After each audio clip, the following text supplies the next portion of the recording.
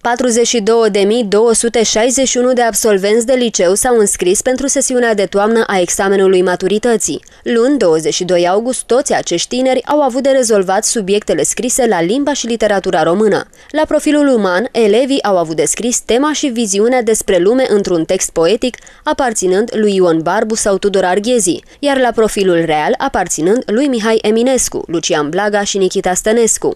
Se pare că subiectele au fost accesibile, elevii sperând la note cât mai mari.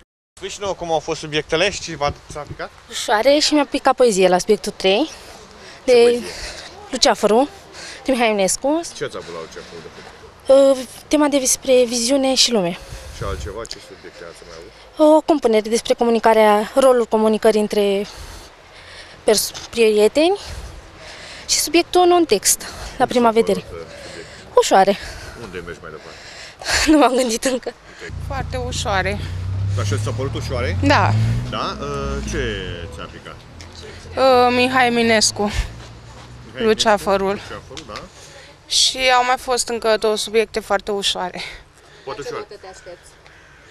La vreun 7, un 8. Unde vrei să mergi mai departe? Uh, mai departe nu știu, nu m-am gândit încă. Probele continuă marți, 23 august, cu proba la limba și literatura maternă, respectiv miercuri, 24 august, cu proba obligatorie a profilului. Testele scrise se încheie vineri, 26 august, cu proba la alegere a profilului și a specializării.